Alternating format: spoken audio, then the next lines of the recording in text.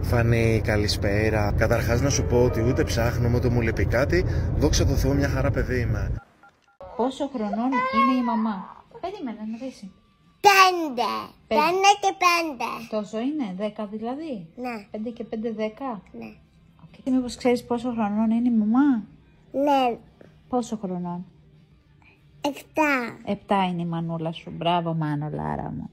Ναι. Ξέρετε τι δουλειά κάνει η μαμά; Πηγαίνει στο κομμωτήριο και βάφει τα μαλλιά.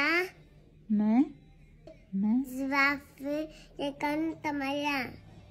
Οκ. Τι δουλειά κάνει ο μπαμπάς; Ο μπαμπάς πηγαίνει στο ξενοδοχείο γιατί δουλεύει.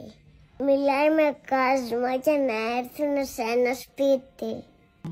Μήπως ξέρεις Μάνο τι αμάξι έχει η μαμά; Ναι. Τι αμάξι έχει; Κόκκινο.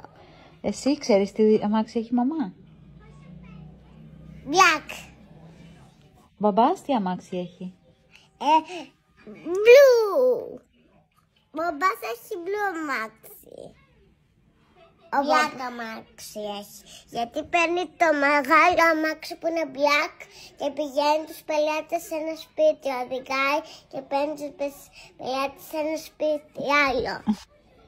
Ε, μήπως ξέρεις που μένουμε; Πώς λέγεται; Πάρω. Στην Πάρο. Με Εσύ; Τσου. που μένουμε αγάπη μου. Ξέρεις που μένουμε; Ναι. Στην Αθήνα ή στην Πάρο. Πού μένουμε τώρα; Την Πάρο. Εμπρός. Γιώτα, καλησπέρα. Γεια. Καταρχάς να σου πω ότι ούτε ψάχνω ούτε μου λείπει κάτι.